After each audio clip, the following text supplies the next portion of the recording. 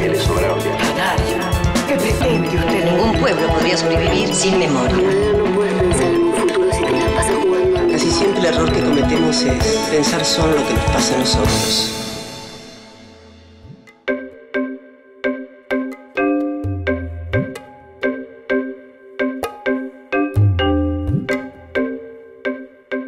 ¿Vos te acordás eh, cómo nos conocimos vos y yo, no? No. Yo tenía 20 años, de esto hace 37, tengo 57, Joder. o 21 tenía, y me eligieron en un casting para protagonizar una publicidad en Río de Janeiro que vos dirigías, de cigarrillos. Uh, Y yo nunca fumé tabaco en mi vida.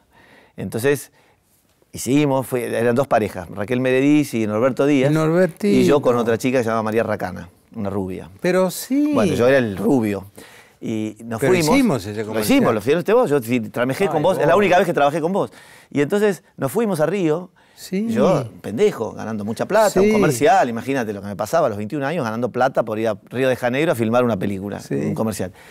Entonces, la historia mía era una, una comida romántica, una pareja que anda por Río y a la noche en un departamento que caía así sobre todo Río, que se veía abajo la ciudad, Sí, esos que, sí, vas- que sí, entras por la planta baja y bajás, se veía todo abajo, Río, qué sé yo, comida romántica, luz de las velas, plano general, la pareja comiendo a la luz de la vela, termina el postre, ¿no? plano y el tipo, canchero, saca un patado de cigarrillos, prende el cigarrillo, prende, pita y se miran a los ojos, gran momento.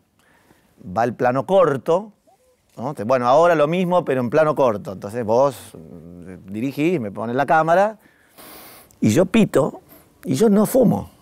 Por lo cual ahora cuando de adulto he tenido que fumar, he tenido que entrenarme. Se me notaba, me, bri- me- atoraba, me brillaban los ojos y, y la sensación era, No ¿quién eligió este pibe que no sabe fumar para hacer cigarrillos internacionales? ¿Quién es el que trajo este pibe? Y era un poco la sensación tuya diciendo, ¿de dónde lo sacaron a este tipo? Pero te había elegido yo. Seguramente, pero no me habías Sí. hecho fumar, No. seguramente. Me habías elegido por la cara de chico lindo Sí, que tenía daba cuando por tenía 20 años. que, que fumabas. Y Sí, claro, dabas Con por esa sentado. cara como no ibas a fumar. Claro, pero no fumaba y fumaba muy mal además. Entonces era un problema para vos lograr que hubiera un instante de credibilidad Sí. en el momento que yo pitaba romántico. Estoy reviviendo esa pesadilla, voy.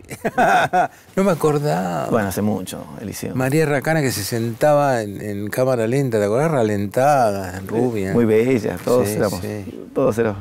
Qué grande, bueno, no me acordaba de Y eso. paramos bueno. en el Otón. Tengo un tenedor de ese hotel. Uh, me no traje un tenedor del. Hotel Otón, que dice Otón Palace. Veamos la primera escena que pertenece al lado oscuro del corazón que hemos elegido para, para que sea un pretexto para charlar con vos. No te quedes inmóvil al borde del camino. No congeles el júbilo, no quieras con desgana. No te salves, ahora ni nunca. No te salves. No te llenes de calma. No reserves del mundo solo un rincón tranquilo. No dejes caer los párpados, pesados como juicios. No te quedes sin labios. No te duermas sin sueño. No te pienses sin sangre, no te juzgues sin tiempo. Pero si pese a todo no puedes evitarlo, y congelas el júbilo y quieres con desgana, y te salvas ahora y te llenas de calma, y reservas del mundo solo un rincón tranquilo y dejas caer los párpados pesados como juicios, y te secas sin labios y te duermes sin sueño, y te piensas sin sangre y te juzgas sin tiempo, y te quedas inmóvil al borde del camino, y te salvas. Entonces, no te quedes conmigo.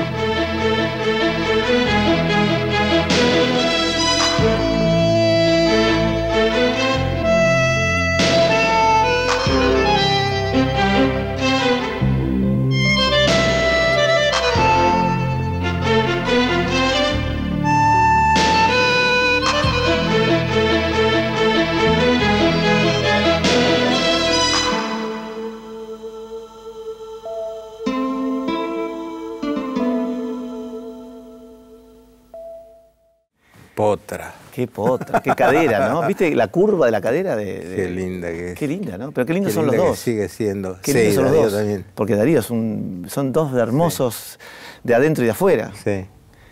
Eh, yo tengo muchísimas cosas para preguntarte sobre esto. La primera tiene que ver con el lugar que ocupa la belleza porque vos dijiste que, que, que- que potra y que hermosa, y, y él también, eh, la belleza como, como, como herramienta para penetrarnos. Yo creo que cuando hay belleza, uno se, se, se predispone, se abre en el amor, en la vida, en el conocimiento. Cuando Sí. aparece la belleza, yo vi esta película hace un par de días para poder encontrarme con vos hoy y, tener, y refrescarla. Ya la había visto hace muchos años y la volví a ver el otro día.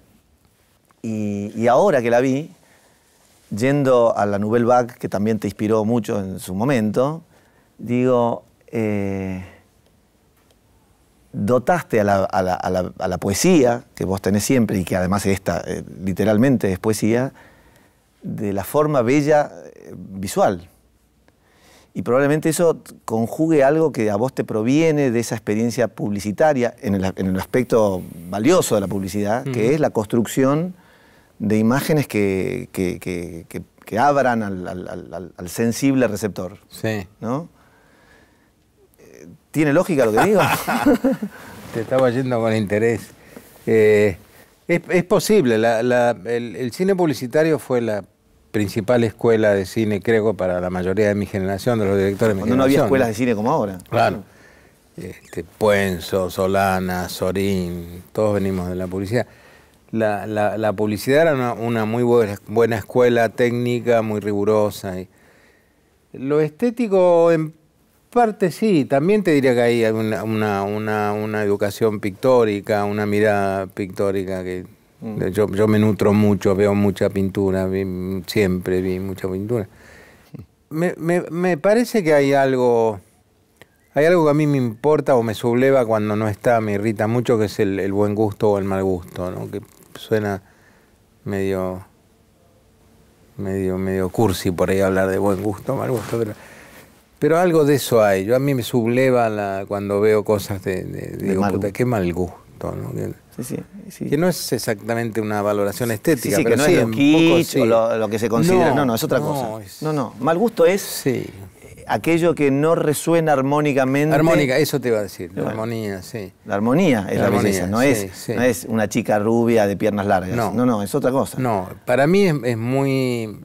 Tenés que ver paisajes devorados porque es un poco un- el- mi credo cinematográfico puesto en, en- en- en labios de, de Birri, pero del personaje de Birri. Pero yo creo que la, la cámara que crea un espacio que para mí es, es- es casi sagrado, Sagrado. ¿no? Sí. Y vos tenés muy buen gusto. Porque todo lo que haces tiene además algo que yo admiro en la creatividad, que es el riesgo. Sí. No, No se puede ser creativo si no te arriesgas a que salga bien o mal. Sí. ¿no? Si vos decís, voy a filmar lo seguro, como Sí. hay directores que filman Sí. para que sea un éxito, o para que sea como ya se hizo otra película parecida. Sí, sí, sí. Eh, entonces decís... La bueno, mayoría del cine hoy me parece que no tiene riesgo, se hace sin riesgo. En el mundo, ¿no? En Sí, general. Hay muy poco cine de riesgo, sí. Y entonces eso no se agradece. Por lo menos no lo agradezco yo, que estoy buscando que me sorprenda, que me caliente, que me, que me deslumbre, que me dé algo nuevo. Sí, sí. Si yo veo una película que ya Sí, la vi, sí, sí. pero que son otros actores haciendo algo que ya vi, Sí, sí. eh, No, a ¿cuál mí me pasa lo mismo como espectador, sí, claro.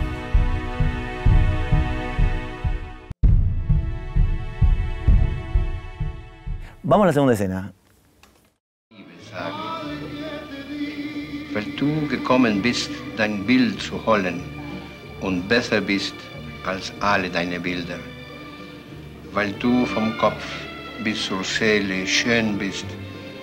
Weil du von der Seele bis zu mir gut bist.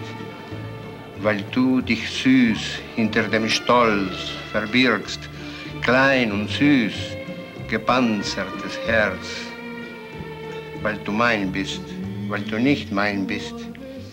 Ich muss dich lieben, Geliebte, ich muss dich lieben. Auch wenn mich diese Wunde doppelt schmerzt, auch wenn ich dich suche und nicht finde, und auch wenn die Nacht vergeht und ich dich habe und nicht habe.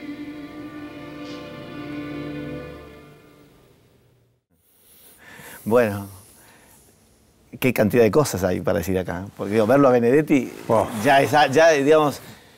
¿no? Y fue uno de los momentos más importantes de mi carrera, te diría, filmar eso, filmar esa escena. ¿no?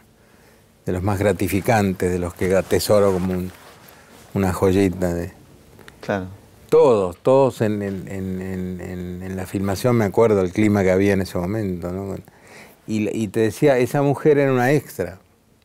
Que ligó- que ese Claro, momento. pero sabía quién era Benedetti, era una admiradora de ¿Era Benedetti. uruguaya? ¿Estaban había filmando en Uruguay? No, acá, Ah. no, se hizo en. Y no lo podía creer que le tocara hacer una escena con Benedetti recitándolo. Le- le fue- también debe haber sido una de las cosas más importantes de su vida. ¿no? ¿Qué le habrá pasado después? ¿Qué habrá sido de ella hoy, De ella gracias hoy, a aquel momento? Sí. Trabaja en un cabaret en Montevideo, creo. Pero hace un número en alemán. ¿Y por qué recita en alemán? Porque Mario cometió el error de contarme un día que él eh, hab- eh, había ido a un colegio alemán en, en Montevideo, hablaba alemán perfectamente y daba a veces recitales de poesía en, en Alemania en alemán. Y ahí se me cruzó la idea, le digo, Mario, ¿no te animarías a recitar un poema tuyo en alemán? Me dijo, sí. Inventé, creé el personaje ese de un marino. Sí, sí, estaba sí. fascinado con él, Claro. con actuar y, y hacerlo.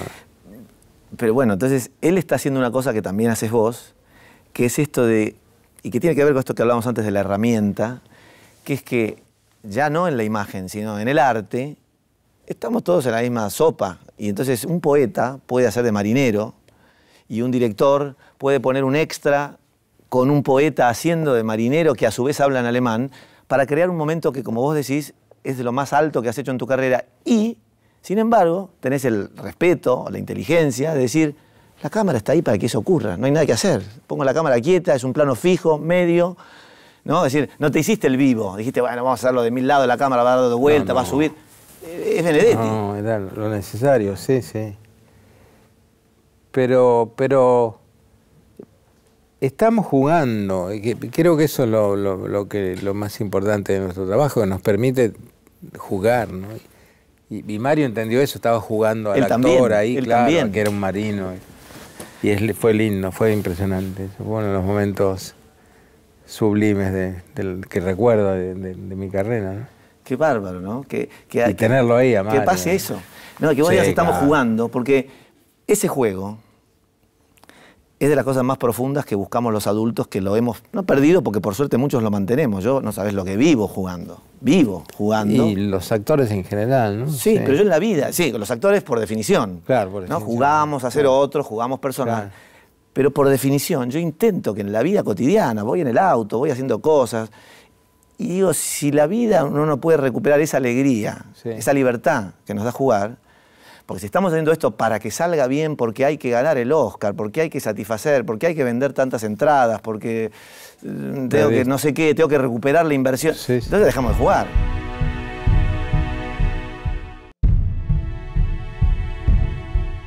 Vamos a una escena más.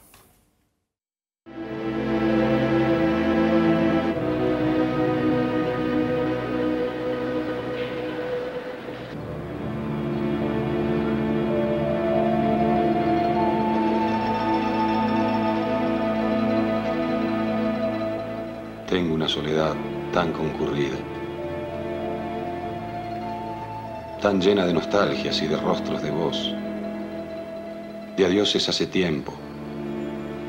Y besos bienvenidos, de primeras de cambio y de último vagón.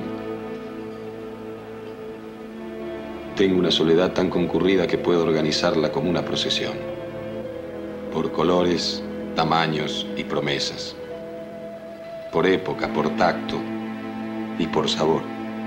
Sin un temblor de más me abrazo a tus ausencias, que asisten y me asisten con mi rostro de voz. Estoy lleno de sombras, de noches y deseos, de risas y alguna maldición. Mis huéspedes concurren, concurren como sueños, con sus rencores nuevos su falta de candor. Yo les pongo una escoba tras la puerta, porque quiero estar solo con mi rostro de voz. Pero el rostro de voz mira a otra parte, con sus ojos de amor que ya no aman, como víveres que buscan a su hambre, miran y miran y apagan mi jornada. Las paredes se van, queda la noche. Las nostalgias se van, no queda nada. Ya mi rostro de voz cierra los ojos. Y es una soledad tan desolada. No me acuerdo de vos. Tengo muy mala memoria. ¿Quién eras? ¿El marinero del Toronto Star? ¿El de la Habana Maru? Astronauta enamorado de Benedetti? No me acuerdo. Es importante hacerlo. Quiero que me relates tu último optimismo. Yo te ofrezco mi última confianza. La esperanza tan dulce, tan pulida, tan triste. La promesa tan leve no me sirve. Aunque sea un trueque mínimo, debemos cotejarnos. No me sirve tan mansa la esperanza.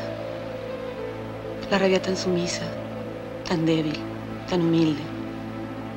El furor tan prudente no me sirve. No me sirve tan sabia tanta rabia. Estás sola. Estoy solo. Por algo somos prójimos. La soledad también puede ser una llama. No me quieras. Por favor, no me quieras, no me quieras, no me quieras.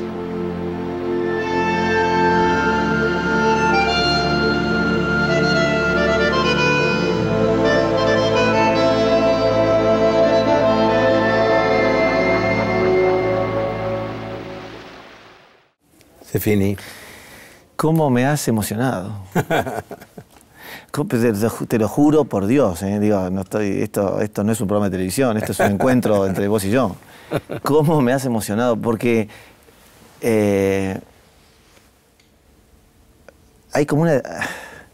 Uno, uno se entrega o no se entrega a la poesía. Uno se abre o no se abre a la poesía. Y, y- y- y conjugar un texto poético como este con la imagen y que se produzca ese momento, parafraseando una vez más a la, a la Nouvelle Vague, me deja sin aliento. Se me quedé diciendo, ¿qué, qué pasa cuando podés armar esto así?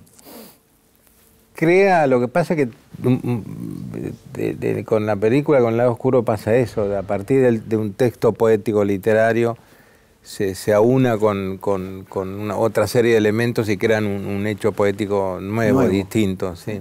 Claro.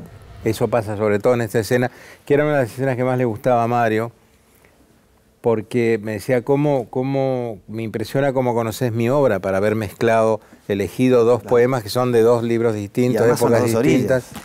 Son, las dos orillas, pero y son son, dos Uruguay y Argentina unidos, distintos, unidos de esta forma.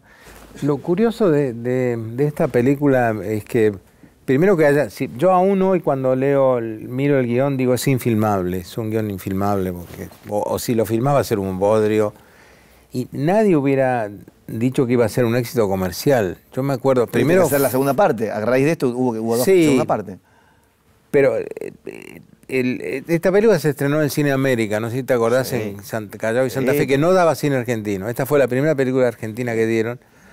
Y yo me acuerdo que, viste que uno va, al- iba a, lo- a los cines a hablar con el acomodador el primer día, a ver cómo, pasó? qué ¿Qué- pasó. cómo- Y un acomodador me dijo 13 semanas, el, el viernes, yo fui un viernes, se va a el jueves. Y digo, 13 semanas que va a estar en cartel 13 semanas. Le digo, mira, te- si estamos 5 o 6 semanas, te traigo una botella de whisky. Tuvo 13 semanas en el América, 13 semanas. Qué me acuerdo que la cola daba la vuelta por Santa Fe, Rodríguez Peña, y el promedio de edad de, lo- de, lo- de los espectadores era 25 años. Pegó en un público muy joven que no veía cine. Un poco había pasado con hombres, ya con hombres en el sudeste fue un público que no veía cine argentino. Lo curioso es que la- yo me acuerdo Héctor Ja- Janover, que, que tenía la librería, librería, y el- sí. el- eh, después me contó que la cantidad de, de- de tipos que salían del cine iban a comprar libros de poesía, de, no solo de- Benedetti, de Hellman, a partir de la película. sí, o sí. diciendo, che, la poesía es algo que se puede hacer. Fue Que- fantástico, fue un fenómeno. Sigue siendo, es mi película más conocida en América Latina. Ah, yo creí que era Hombre Ambiente del Sudeste. Tal vez esta es No, la más esta más, masiva, claro. sí, esta es la más masiva. Esta es la más disfrutada, porque la otra es más dramática. esta es un bolero, esta película es un caramelito que se la siguen usando para levantarse señoritas. y- para enamorar. Bueno, hay quien dice que todo se hace para eso. Sí, también, absolutamente. Yo no sé por qué vos harás cine, porque... Por lo mismo. Por lo mismo. Todos- todo- ¿Por qué hacemos todos lo que hacemos? ¿no? Para jugar. Sí, para jugar, para ser- para ser felices, sí, para ser felices. ¿No? Eso es más complicado, pero bueno. Bueno, yo creo que, que me voy a quedar con ganas de hablar muchísimo con vos, pero, pero está bueno, porque esto tiene que ver con lo que empecé diciéndote al principio, que es que a veces no tenemos el espacio para poder encontrarnos, para hablar de cosas que nos importan, que nos gustan, que nos conectan. Eh, porque en lo que duró este breve encuentro que tuvimos, eh, de orilla a ¿Ya orilla. terminó? Vos. No, ni terminó ni no terminó, quiero decir. Ah, cierto, nunca eh, empezó. Ni empezó ni terminó. Va a, con- va a continuar el día que sigamos charlando fuera de esto, en un boliche con nuestras mujeres, Sí, donde quiera. fantástico, pero bueno, ojalá siempre fuera así. Eh, Yo te cuento sufro mucho delante de las cámaras y con No parece, ¿eh? y- Porque- pero- no, acá no, porque casi ni me di cuenta. Te pregunté varias veces si estábamos grabando, si había empezado el programa, es bárbaro.